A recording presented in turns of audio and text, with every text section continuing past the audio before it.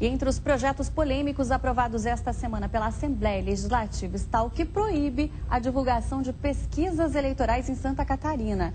Pela proposta, apenas os números para presidente e vice poderiam ser conhecidos pelos eleitores.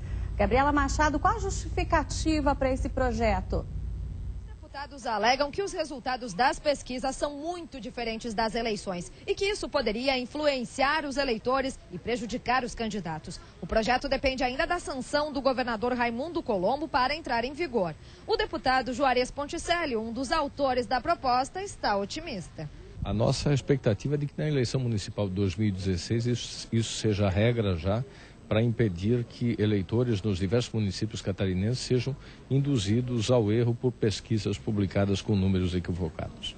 Nossa equipe consultou também a OAB de Santa Catarina. A entidade diz que concorda com as alegações do projeto, mas acredita que ele dificilmente irá para frente, porque já existe uma lei federal com regras para pesquisas eleitorais. E pela Constituição, a legislação federal vale mais do que a estadual. Algum órgão de imprensa, alguma associação, algum sindicato poder, poderá entrar com uma ação direta de inconstitucionalidade sobre essa lei, né? Eu vejo como uma questão até meio simples de se resolver, porque tem realmente essa contrariedade com a lei federal. Também parte aqui de Santa Catarina outra proposta semelhante, mas no Senado. O senador Luiz Henrique da Silveira, do PMDB catarinense, sugere que a divulgação de pesquisa seja proibida no país 15 dias antes das eleições.